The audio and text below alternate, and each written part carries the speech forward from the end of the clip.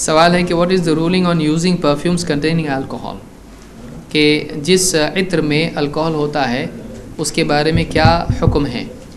اس سلسلے میں علماء نے بات کہی ہے، سلفی علماء کا کہنا اور بہت سارے دوسرے علماء کا بھی کہنا ہے کہ الکوہل کا یعنی ایسی چیز جو نشے والی بھی ہو، اس کی نجاست کی کوئی دلیل نہیں ہے۔ خمر کی نجاست کی کوئی دلیل نہیں ہے۔ اسی وجہ سے علماء نے کہا ہے کہ ایسا اگر عطر میں وہ چیز ہوتی ہے، تو اس کو استعمال کرنے میں کوئی حرج نہیں ہے۔ یہ اور بات ہے کہ بہتر یہی ہے کہ ایک آدمی ایسا عطر استعمال کرے جس میں اس طرح کی کوئی چیز نہ ہو، جس سے کوئی یعنی شبہ اور کوئی پریشانی پیدا ہو سکتی ہے۔ لیکن اس کی حرمت کی کوئی دلیل نہیں، نجاست کی کوئی دلیل نہیں ہے۔